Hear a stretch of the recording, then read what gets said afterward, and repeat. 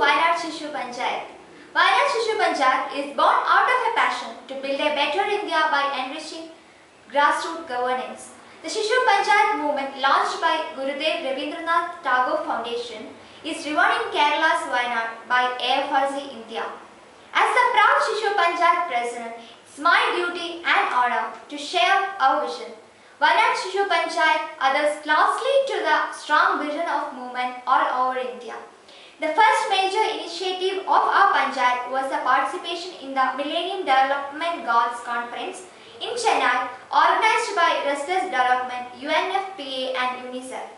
Six members of the Shishu Panchayat represented our state. Later, the Shishu Panchayat organized a similar conference in Wayanad as well as conducted a month-long month-long My World survey in association with UNV India. We have done the in a strategically planned way and it was featured many times in My World blogs and newsletters. We have felt many times that financial constraints hamper our volunteer initiatives. After many discussions and studies, we found that the ideal solution was to start a bank of our own. Thus born the first microfinance bank completely run by children in Kerala state. The bank supports many of our activities now it has more than 60 members including children and adults. Indian students in general do lag behind when it comes to life skills.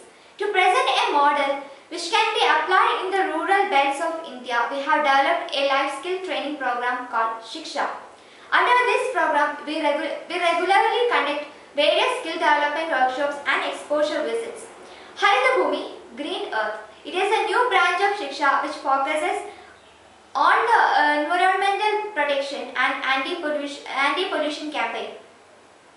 Wayanad Shishu Panchayat had just crossed its first year of existence. We are proud of our achievements but compared to the greatest challenges in front of us, we know that we have gain is nothing and the road ahead is long.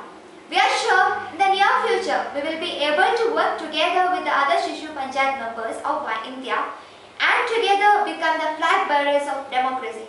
I wish all the best to the program on behalf of Wayanad Shishu Panchayat.